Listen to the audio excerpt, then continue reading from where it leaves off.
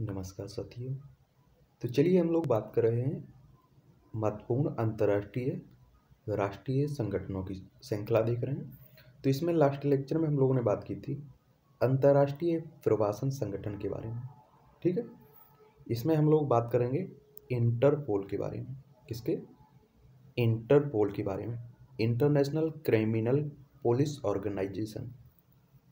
इसे हिंदी में कहते हैं अंतर्राष्ट्रीय आपराधिक पुलिस संगठन या संस्था। ठीक है? यह एक अंतर सरकारी संगठन है। दुनिया का सबसे बड़ा पुलिस संगठन भी है इंटरपोल। इंटरपोल की स्थापना 1923 में हुई इंटरनेशनल क्रिमिनल पुलिस कमीशन के रूप में। ये उन्नीस सौ छप्पन में अपने मूल रूप में आया, इंटरपोल के नाम से। ठीक? तो 1923 में इसकी स्थापना किस नाम से हुई थी? इंटरनेशनल क्रिमिनल पुलिस कमीशन के रूप में और उन्नीस सौ छप्पन में इसका नाम, मूल नाम आया इंटरपोल। इसके मुख्यालय की बात करें हम लोग तो लियोन, फ्रांस में इसका मुख्यालय। इसके सदस्य देशों की बात करें तो एक सौ चौरानवे हैं। भारत संस्थापक सदस्यों में शामिल है। भारत भी इंटरपोल का सदस्य है, याद रखिए। अध्यक्ष की बात करें तो इसमें किम जोंग यंग कोरिया गणराज्य के हैं। क्या है? कोरिया कोरिया गणराज्य के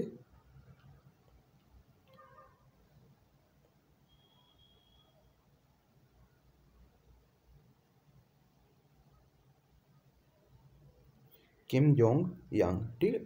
इसके इंटरपोल के मुख्य कार्यों की बात करें तो अंतर्राष्ट्रीय अपराध से लड़ने के लिए सदस्य देशों की पुलिस को एक साथ करने के लिए सक्षम बनाना इसका मुख्य कार्य है।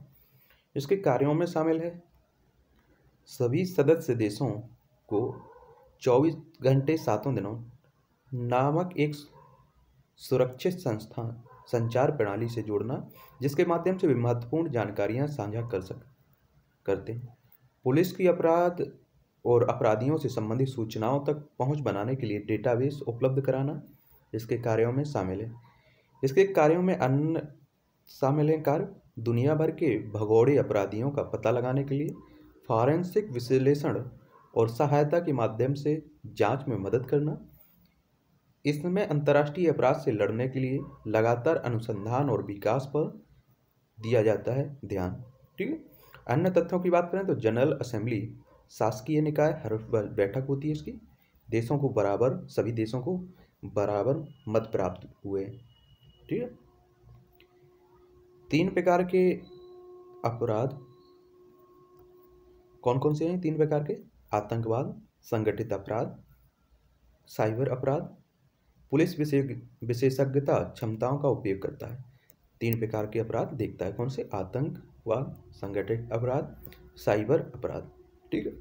तो ये था आपका इंटरपोल। आगे हम लोग बात करेंगे। एशिया पैसिफिक ब्रॉडकास्टिंग यूनियन के बारे में। ठीक है?